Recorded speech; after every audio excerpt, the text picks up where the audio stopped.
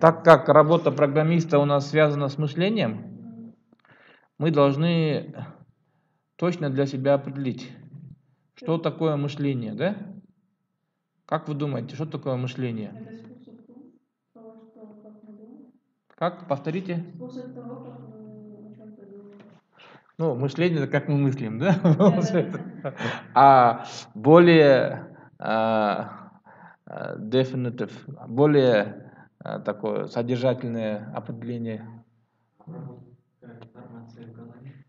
обработка информации в голове, да, так. Еще.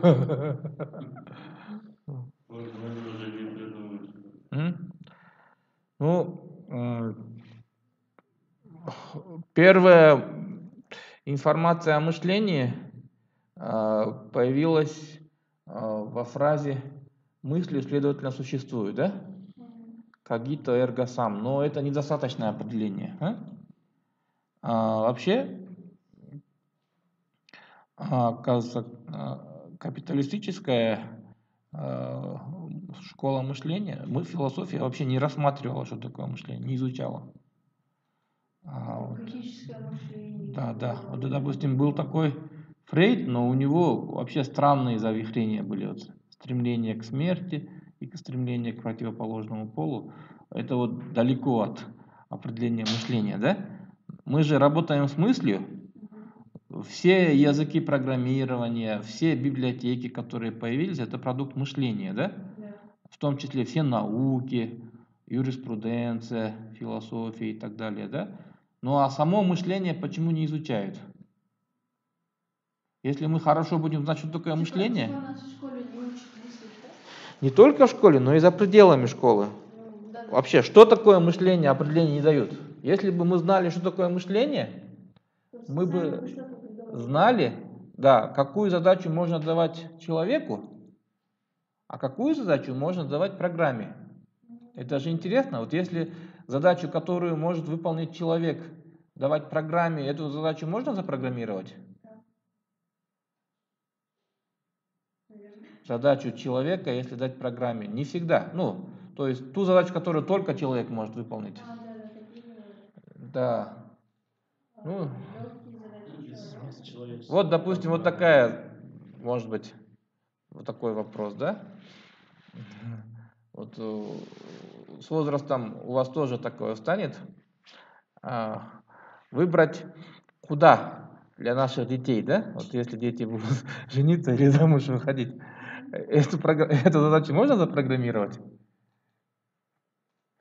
Нет. Да? Не не получится, да? Да, А. Там просто слишком много критериев. Да, и кроме мыслительных, там еще есть... Немелердің мысалы гелендердің параметрлерін дата сайенс Нет, ну там же еще есть это. а, Кроме мышления, еще есть э, понравилось, не понравилось, вот, вот допустим, Да, семья какая. Особенности ребенка. Особенности семьи еще тоже играют большую роль, да? Типа это- принципы, Что за семья, какие у них, э, ну, так же они живут, как и мы, с такими же понятиями. Если одинаковые понятия, то легко будет, да? Если разные, то будут конфликты все время, да? Вот, поэтому вот, если бы мы смогли определить, какую задачу поручать компьютеру, а какую задачу поручать человеку, мы смогли бы на этом заработать миллиарды, да?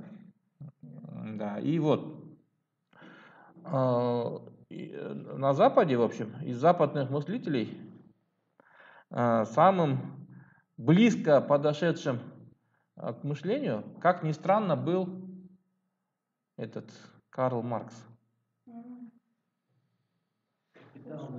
Нет, и как он, во- вообще, как он стал популярным? Как он э, вошел в топ? Да, но он же повлиял на нашу жизнь, да, и так далее, да, а мы должны знать, чтобы в будущем в такие ловушки не попадать, да? Правильно? И вот э, как безвестный немецкий э, деятель, да, стал таким знаменитым? Куча же немецких деятелей, да? Почему именно он, да? Дело в том, что до него, до него а, было, был, был спор между идеалистами э, и материалистами, да? И идеалисты говорили, вот, например, вот два стула стоит, да?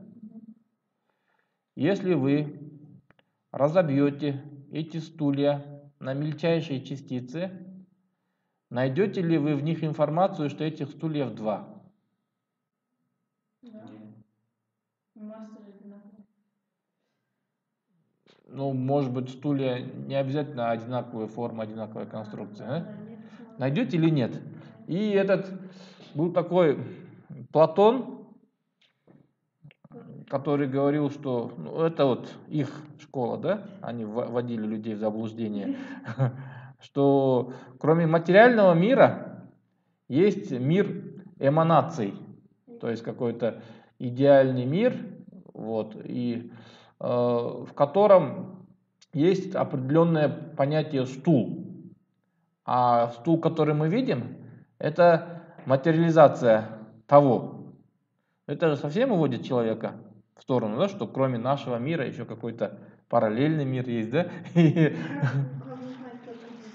да, да, да, да, вот. И вот получается, вот они, они вот так вводили в заблуждение людей. Вот смотрите, вот д- два стула, да, или два стола, или любое два-три предмета взять, как узнать, что их два, что есть отдельная такое эманация, так два, да, и в этом мире она просто материализуется. Это, получается, глубоко в сторону уходило а? и вводило людей в заблуждение. А что сделал Маркс? Он говорит, а, чтобы мыслить, нужно два параметра. М, Нужно вот эта реальность, да, о которой мы мыслим. Без этого будет фантазия. И нужен здоровый человеческий мозг, в котором эта мысль возникает. Вот, потому что кроме человека других мыслящих существ мы не видим. Вот с этими двумя пунктами я полностью согласен. А, вот, и этим самым он этих идеалистов поставил на место, и э, через эту формулировку он вышел в топ э, цитируемых писателей. а? Ну, из-за этого он это, себя, таким образом он себя пропиарил. Понятно? Ну. Вот. Но он дальше ошибся в другом. В чем его ошибка?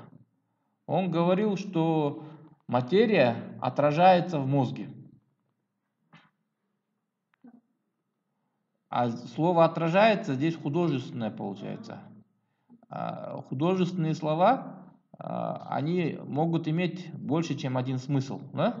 И вообще неправильно применять а, в мыслительном тексте художественный термин, потому что можно уйти в заблуждение. Вот. И здесь он применил художественный термин отражение. Хотя вот если посмотреть просто само отражение, да? Вот, допустим, солнечный луч отражается в зеркале, да? А, Или эхо отражается от горы, да? Отражение, оно присуще э, неживой материи, правильно, да? А мышление – это свойство только, как мы видим, живой материи. И из всей этой живой материи только человеку присущее, да? А, Поэтому вот эта фраза, что отражается, э, большую проблему создала. Какую именно? Он э, неясно объяснил, э, что как мысль переходит, э, информация от мира переходит в мозг.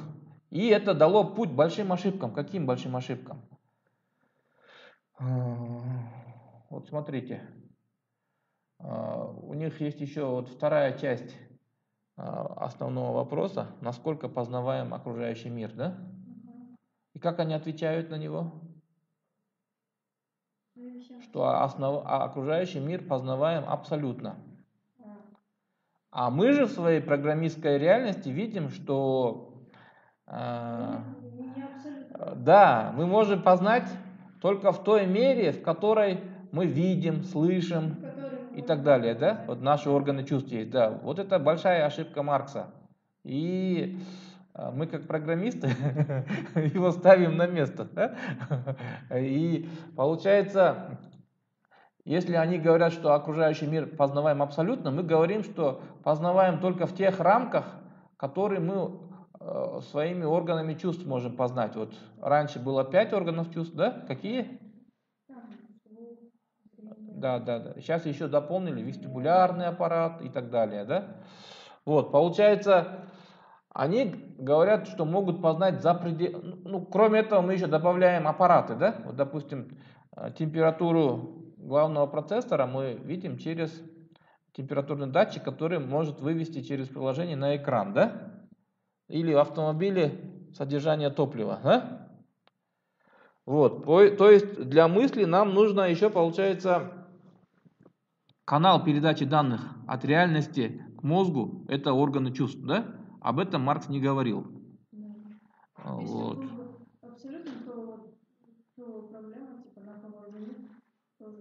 Ну, если бы мы э, могли бы узнать, что происходит за пределами того, что мы можем увидеть, услышать, то мы бы какими супер стали бы, да? А это же нету такого. Вот когда мы пишем программу, это очень хорошо видно, что мы ограничены тем, что можем, и, и даже там, там мы забывчивы, да? Вот. И, естественно, получается, какой четвертый фактор еще после этого вызревает? Кроме этих трех факторов. Реальность, мозг, а, органы чувств, да, через которые... И еще четвертый фактор. Четвертый фактор. Вот вы слышали про Маугли? Если Маугли дать кусок золота и кусок железа, что он выберет? Может быть, случайный выбор, да? А вы-то знаете, что за кусок золота можно купить квартиру, например, да? Или автомобиль, да? А за кусок железа можно получить там 20 сомов, да, по за металлами. Что выберете? Ну, Да, потому что у вас есть. Предыдущая предварительная информация, да? То есть вот эти четыре фактора надо, чтобы возникла мысль. А, Вот. И ясно, да? То есть нам надо, так как мы работаем с мышлением, мы не должны забывать про эти четыре фактора. И мы не должны впадать куда? Заблуждение метафизиков. Метафизики полагают, что они могут познать то, что за пределами органов чувств, да? Хотя они это могут познать. Вот что будет завтра? Откуда мы знаем, да? Правильный ответ, откуда мы знаем, да? Вот, допустим, эти же марксисты говорили, что мир вс- всегда будет. А кто из них попал в это всегда, в будущее, да, чтобы посмотреть, что это всегда будет, а? Никто. И поэтому то, что мир будет всегда, это, получается, соответствует критерию мысли или нет? Это получается прогноз, да? Который может произойти, а может и не произойти. А, то есть мы, как программисты, э, берем определение Маркса и его уточняем, дополняя двумя пунктами. да? Вот о чем я хотел сказать. Так, небольшое отступление было, да?